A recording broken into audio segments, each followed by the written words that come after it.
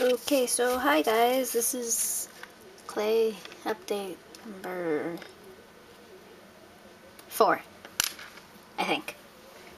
So I got some charms and deco pieces and two figurines, which I will save for last.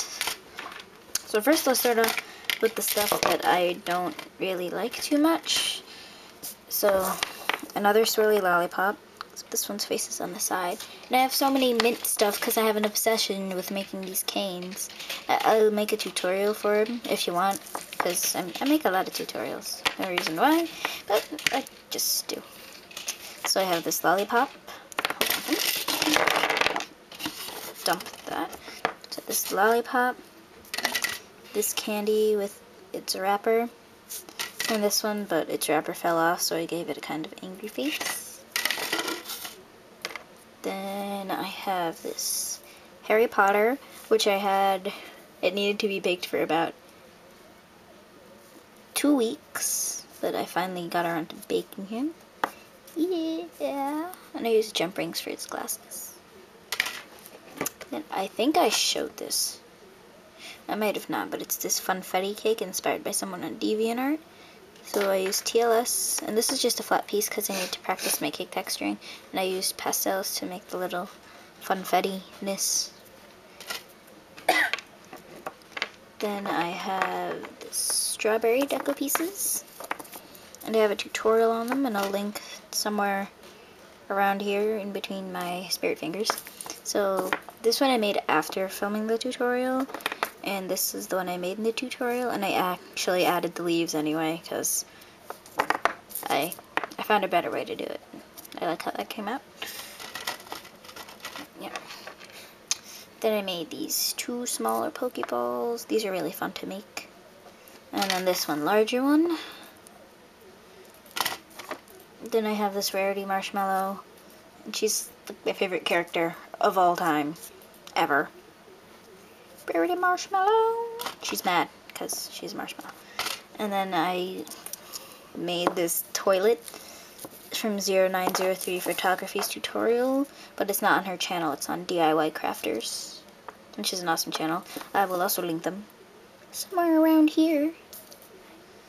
Um, so, instead of doing the love stinks. I just made it a regular one, and when I added the pastels, the water got too dark. So it's it's just um in those toilets with blue water, and I don't really think you can tell, but there's poop in there. And then the poop has this little face on it, and they're connected by a chain. And the tutorial is really good for this, except instead of adding this first and then the seed, I added the seed and then that.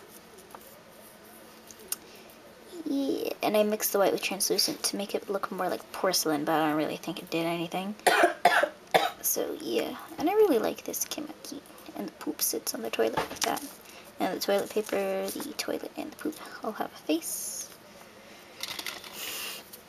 And then my favorite is this. This rarity took me so long. It took such a freaking long time, and then once I finally got her, she wouldn't stand up, so I had to add cold porcelain onto her legs, and then send her legs down, and look, she's still not standing up. That's not cool. I'm going to show you the picture that inspired me, but here's the front, and everything here. Her hair was originally made with colored clay, but I don't really like the color that it came out as. Ah! My internet's slow because I'm publishing a video right now. Alright. Mm, okay, fine. Never mind where I got inspiration from, but so her tail took the longest, and then next were her eyes. So I think she came out awesome, and she's going into my collection of ponies. Oh, oh, now it loads, now it loads, of course. So, oh, where'd I put it? Oh, I put her over here, so. Tail, body, face, whatnot. And then, this still has to be baked and painted, cleaned up a little. It's apple bloom. And I think I got her size way off proportion.